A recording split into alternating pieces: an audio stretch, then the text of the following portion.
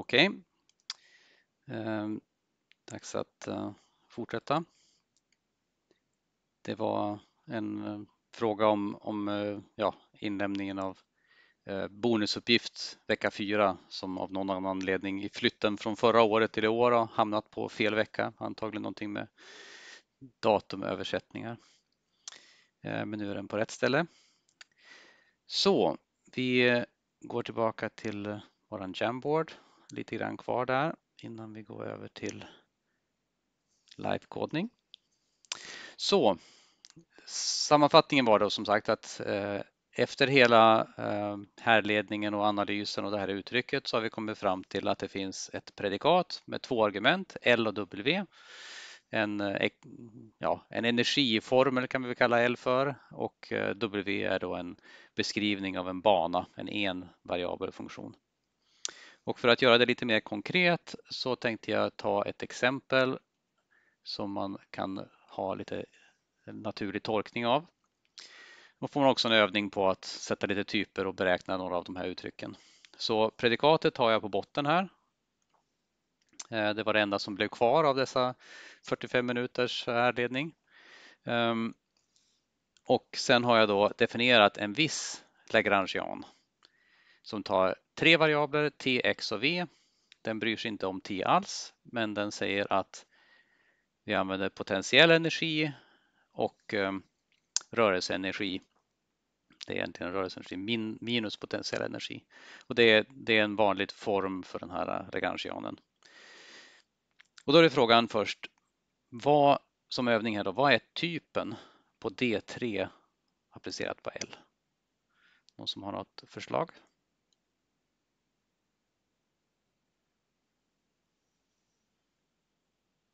Se vad ska stå här.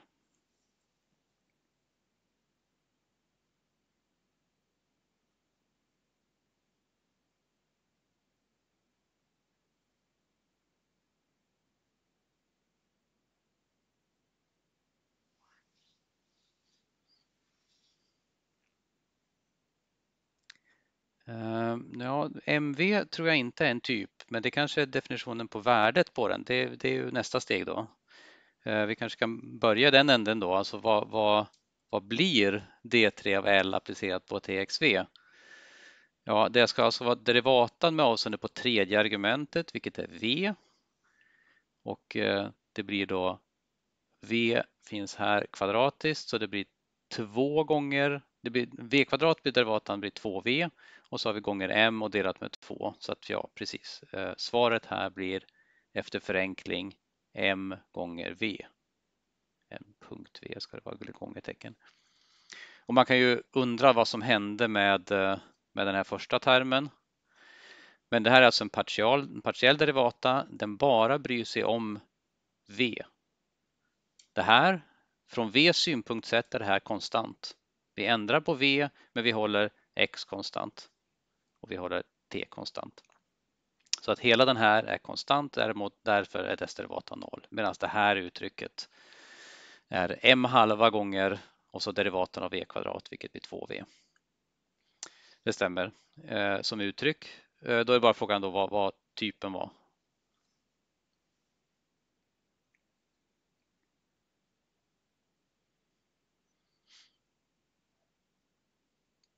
Ja, typen det, det är samma, precis. Det är samma typ som på L och det är det huvudsakliga budskapet jag vill att man ska komma ihåg här.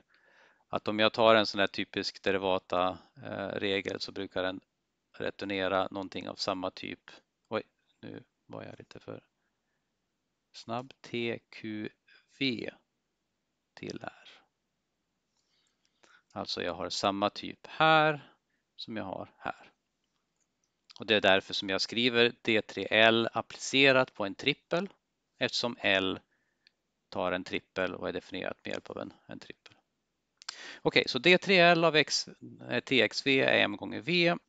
D2L då på motsvarande sätt. Den har samma typ den också, det skriver jag inte ens ut här. Då ska vi alltså derivera med avseende på X. Jag kallar det Q för X här. Eftersom jag har positionsbunden derivata så behöver jag inte bry mig om att hålla reda på att det ska vara just Q det ska stå där. Jag kan skriva vilket namn jag vill. Någon som har ett förslag på vad det uttrycket blir om jag deriverar det här uttrycket med avseende på x.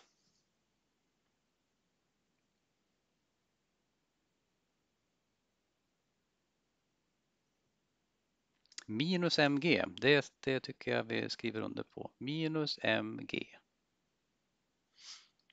Och då är det motsvarande som på förra tillfället att nu är det den här termen som är konstant. Den varierar inte när vi ändrar på x. Däremot den här termen är ren linjär rörelse i x-led. mgx, vilket gör att derivatan är konstant hela tiden minus m gånger g. Okej, okay, bra. Då kan vi ta ett steg framåt. Och då är det den här eh, extend-funktionen som vi ska titta på. Och här är bara påminnelse igen att dess, dess eh, funktion är att vi, vi vill få en, någonting som är en envariabel funktion här nere. Och den kallar jag här för alfa så småningom.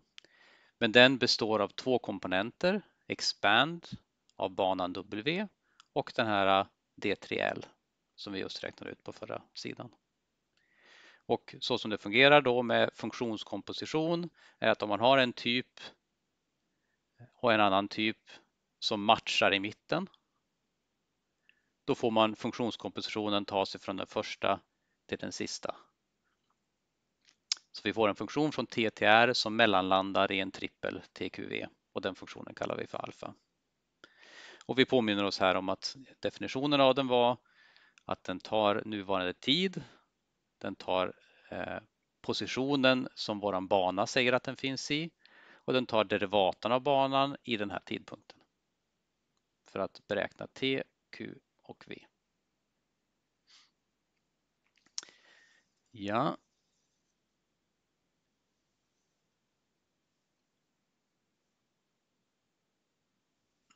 Och här har jag redan förifyllt ett par saker, det vi redan hade beräknat, nämligen MV och vi hade minus MG. Och sen har jag tänkt mig, vid det här laget så måste vi bestämma oss vad vi vill testa. Kom ihåg jag sa att vi, vi ska testa om ett predikat är uppfyllt eller inte. Och vi har bestämt oss för vilket L vi ska ha, men vilken bana ska vi ha? Och då tänkte jag, okej, okay, banan den ska ta en tidpunkt till en koordinat och låt oss anta att den har den här formen. Så här har jag alltså ansatt en viss form. Jag har ansatt ett enkelt polynom, en konstant a plus en konstant b gånger kvadraten på t. Jag nämnde förut det här med, med typer och sånt, så vi får väl anta här att multiplikation med b ändrar typen på tid kvadrat till koordinat.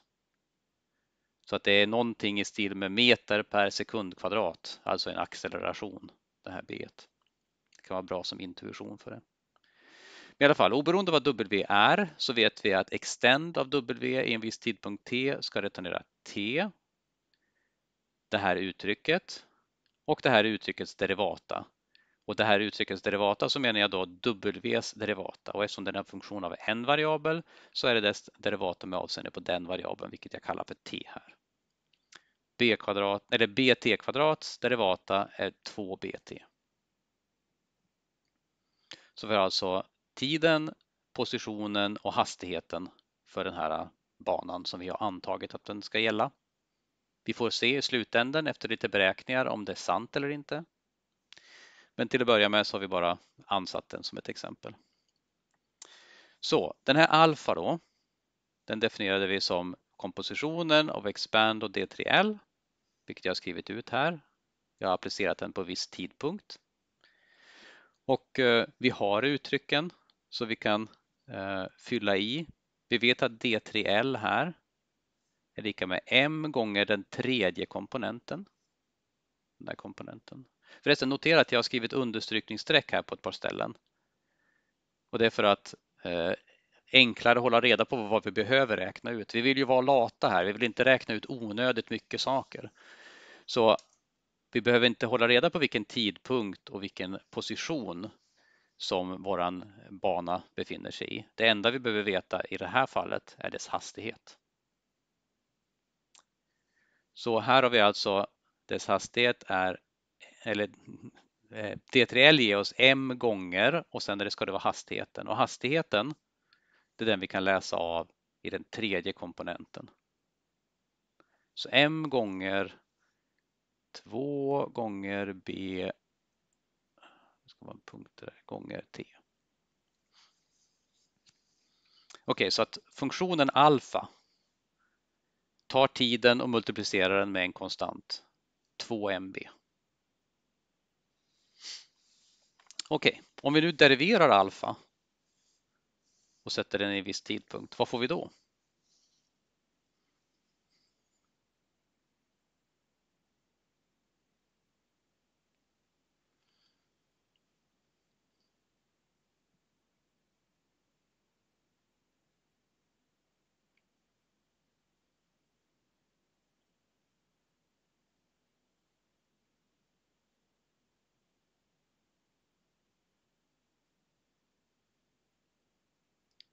Någon som har något förslag? Orsaken att derivera den förresten är ju för att den finns, vi har derivaten av alfa på vänsterledet av den här ekvationen här. Så vi behöver beräkna derivaten av alfa.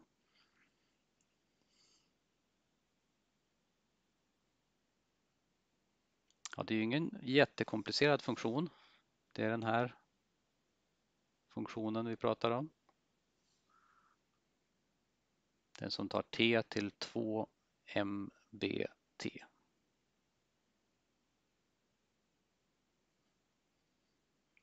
Någon som vågar sig på chattfunktionen? M2B, ja precis. Jag skriver den i annan ordning men det är samma. 2 gånger M gånger B. Så alfa är linjär funktion i T och den har då en konstant derivata. Dess derivata är hela tiden 2 gånger M gånger B. Så att notera att den är alltså en, eh, om vi vill skriva ut det så skulle vi kunna säga att D-alfa utan T, den är konst detta. Derivaten av alfa är en konstant funktion. Okej, okay, så långt eh, har vi klarat av vänsterledet här nere. Hur ser det ut med högerledet? Vad är beta av t? Så där har vi alltså en kombination av den här funktionen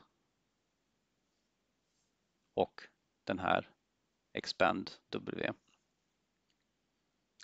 Men faktum är att den här är fullständigt blind, den här funktionen. Den ignorerar t, q och v. Vad man än spottar in, petar in i den så ger den alltid ut minus mg. Så vi behöver inte ens veta vilken bana som finns här. Var det än skulle stå där så är beta av t samma sak. Och vad är samma sak? Jo, minus mg. Så hela den här beta, om vi nu vill eh, uttrycka den utan punktfri notation så att säga, så är det konst och sen det här uttrycket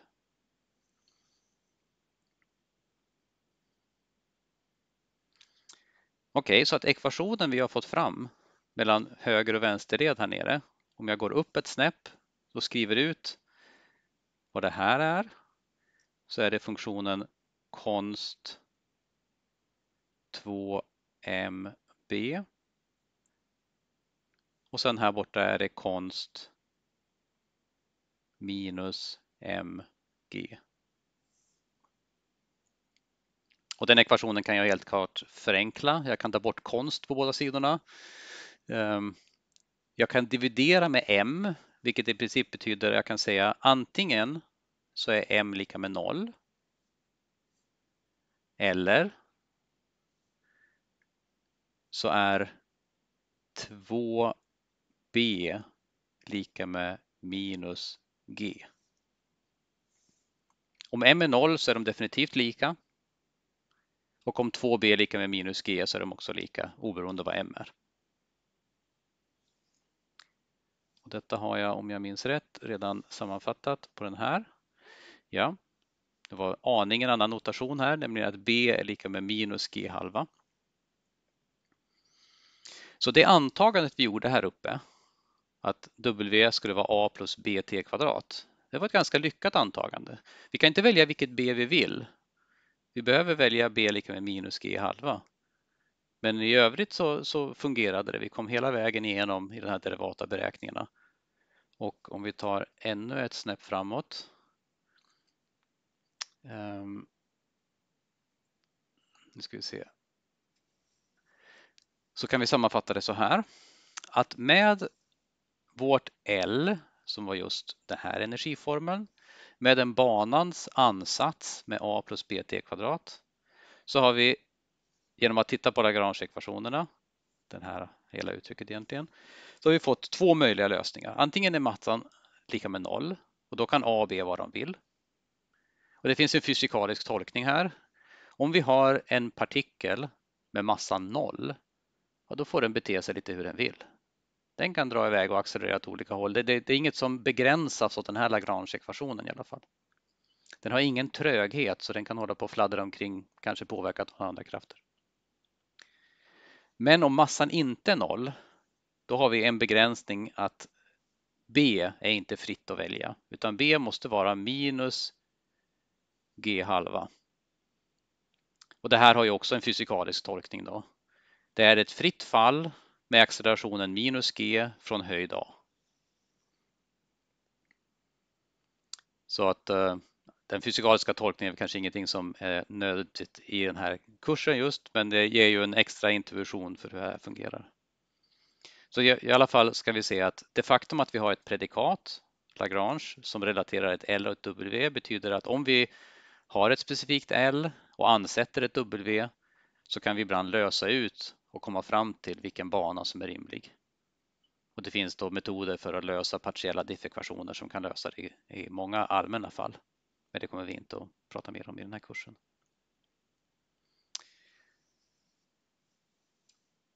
Okej, okay. det var eh, allt för eh, tavlan den här gången. Nu blir det lite live-kodning.